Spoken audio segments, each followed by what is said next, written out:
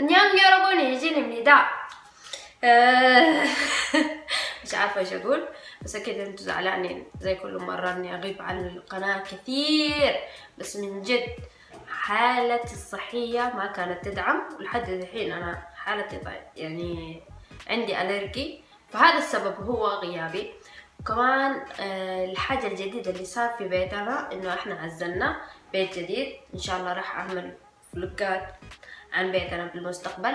فما علينا. المهم أنا سألتكم سؤال. إيش حابين vlog أو قصص؟ فكان الأغلبية طالبين قصص. جت لكم القصة اللي هي لسه طازجة يعني ما صار له إلا أسبوعين صار لي هذا القصة. وراح أحكي لكم إياه بس قبل ما أبدأ الفيديو لا تنسوا تعملوا لي subscribe و like. تشاركوني بكومنتاتكم الحلوة وشكرا على دعمكم ليا. ما كنت متخيلة هذا العدد الكثير اللي راح يحبني. ويتابعني وأحبكم كلكم وإن شاء الله أنزل لكم أكثر وأكثر. يلا خلينا نشوف. ابدا لكم القصة من بدايته. اسمعوا لي للنهاية المهم جت لي رسالة من صاحبتي. تقول لي إنه عندنا صديقتنا راح تشترك في امتحان خاص للأجانب. هذا الامتحان امتحان اللغة حقت الكورية بس للأجانب. يعني الجامعيين ممكن يسجلوا فيه. المتوسطة يسجلوا فيه الثانوية الابتدائي كلهم. كلهم لتحديد مستواهم الكوري. يعني لو هم لغتهم الكورية كويسة أو لا. فممكن تأخذ الأوائل على مستوى كل الأجانب. يعني في صينيين في آه عرب في آه يعني من كل الدول. يعني آه فرنسيين أمريكان من كل الدول. فهذا الامتحان اسمه توبيك يحدد مستوى الشخص. في اللغة الكورية.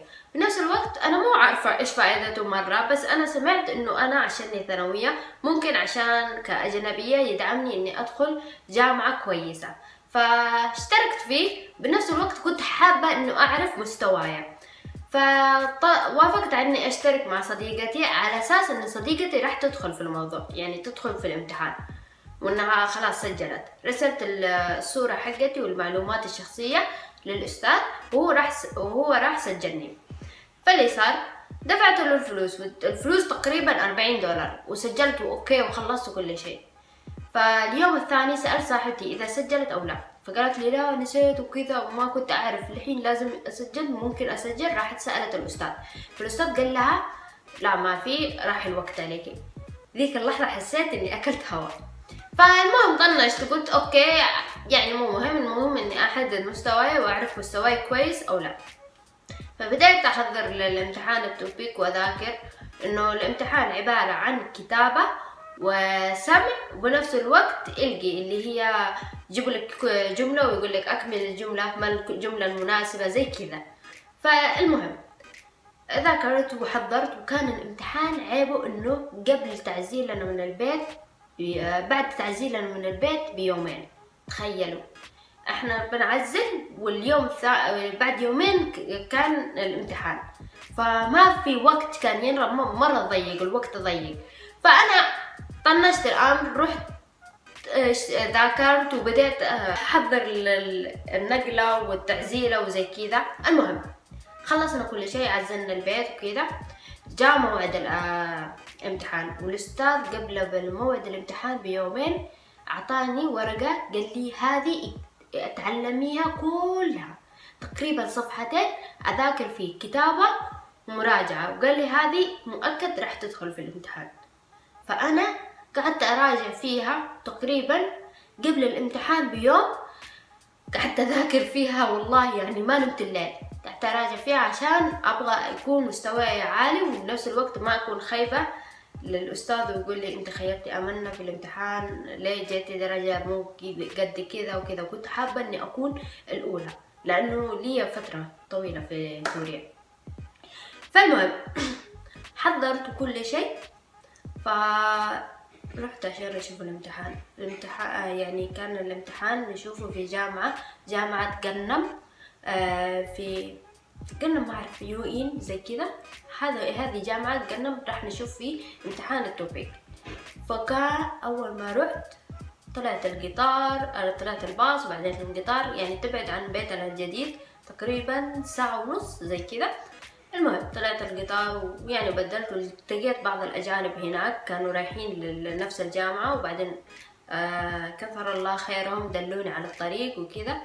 المهم رحنا كلنا وتعرفت على بعض البنات هم كانوا من الصين مرة كانوا كويسات وحبوبات وكان ما شاء الله لغتهم الكورية روعة رغم إنهم ما صار لهم فترة في كوريا لدرجة أنا حسبت إنهم أصلهم كوريان وعايشين في الصين. قالوا لي لا هم متعلمين في كوريا.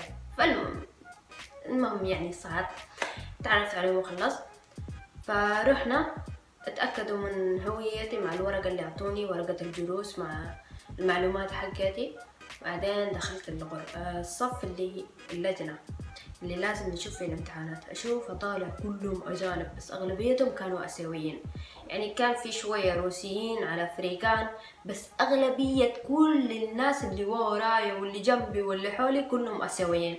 من الصين تايلاند أغلبيتهم كلهم آسيويين. فذيك اللحظة كنت أنا مرة تعبانة بسبب السهر. أول شيء ثاني شيء صحتي ما كانت تدعمني إنه كان عندي ألرجي وبنفس الوقت الفترة هذه صار عندي دوخة وتعب كثير يعني تعبت هذه الفترة مرة. فاللي صار إنه سلمنا جوالاتنا دخل الأستاذ والأستاذة قالوا لنا أعطونا الجوالات سلمنا لهم جوالاتنا وسلمنا كل شيء يخص على الامتحانات وقفلنا كل شيء. فيحكي لنا يتكلم الأستاذ. والله ما كنت مركزة ذيك اللحظة معاه.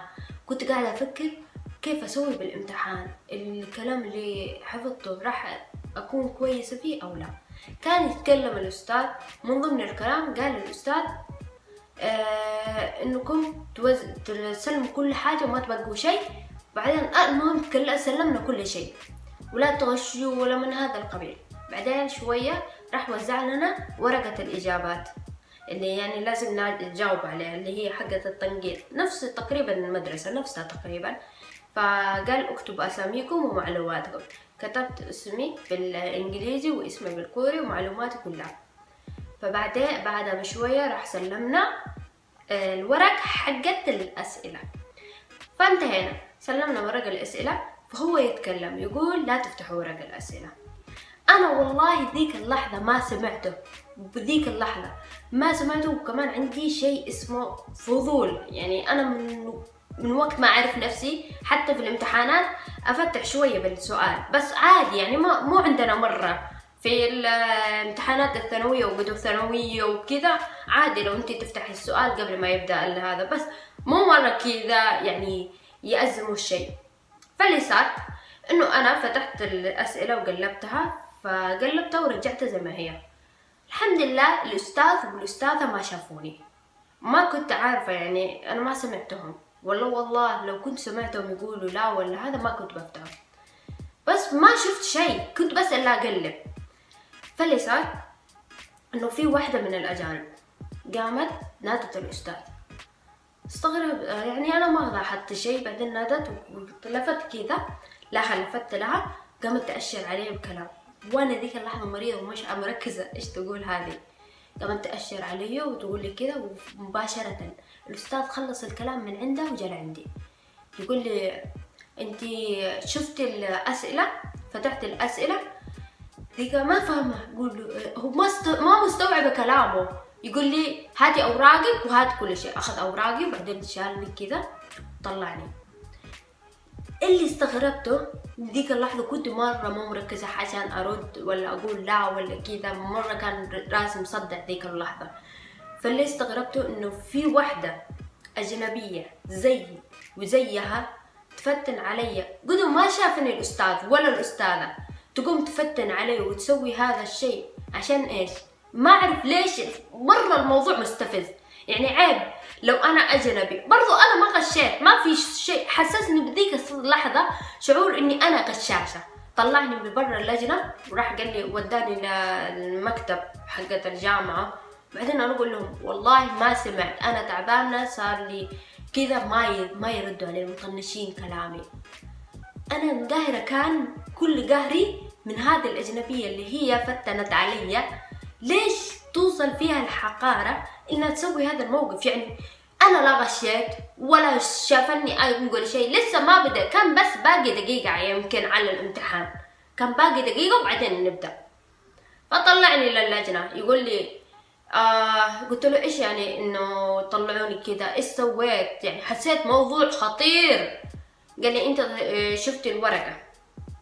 قلت له طيب أنا ما سمعت ما أعرف نظامكم يعني عادي عندنا في الثانوية وكذا ليش أنتوا يعني معوفرينها كذا؟ بالنهاية هذا ورقة الأسئلة راح أرميها. قالوا لي لا هذا ممنوع أنت لازم تلتزمي بالنظام من هذا القبيل. استغربت يعني امتحان أهبل يعني والله أنا أحس ما له لازمة أصلا.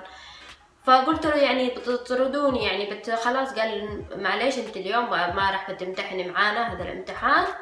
كذا. قلت له طيب الفلوس اللي دفعته. الفلوس كان 40 دولار. والله ما كان مزعلني على الامتحان زي ما زعلت على ال 40 دولار اللي ضاعت علي إني أنا دفعتها. وبعدين ال 40 دولار ما هي حاجة سهلة إنك تدفعيه وبالنهايه هذا. بعدين طلعوا بعد فت بعد ما كنت أتناقش مع الأستاذ طلعوا واحدة ثانية صينية.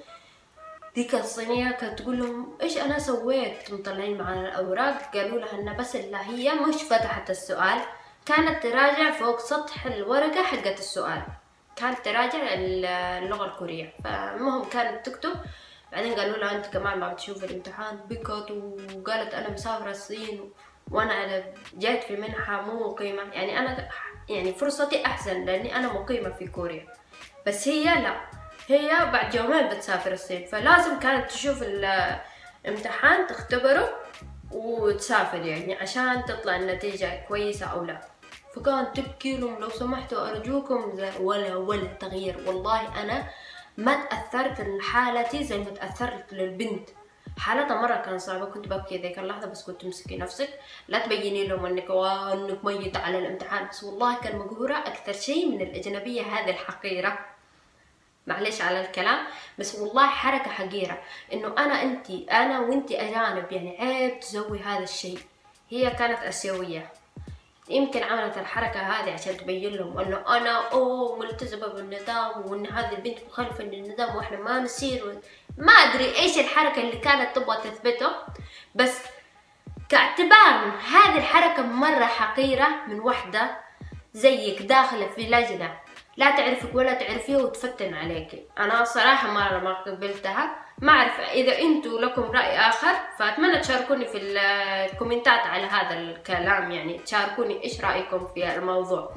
فاللي صار انه قالوا لنا مع السلامة قلت لهم طز آه مهما امتحانكم بالنهاية الامتحان هذا لا يأثر فيني ولا شيء أنا بالنهاية ثانوية وراح يدعمني الدرجات اللي بالثانوية أكثر من امتحانكم. بس ممكن أشترك يعني أنا ممكن أشترك بس عشان تحديد المستوى بس. تحديد مستواي الكوري.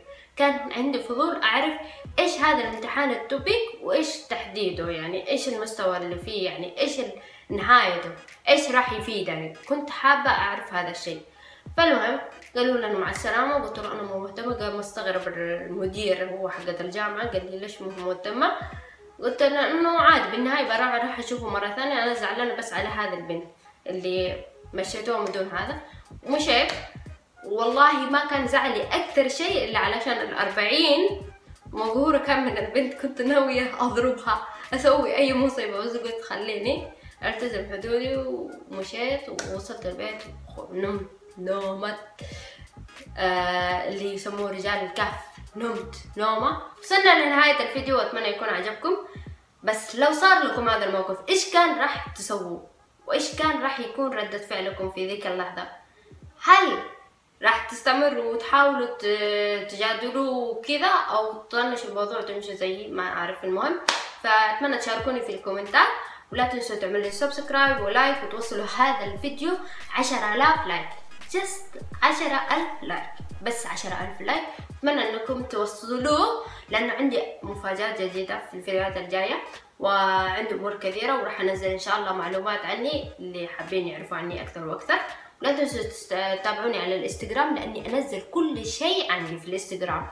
تقريبا قصصي أموري الشخصية كلها. آه، أحبكم مرة وباي!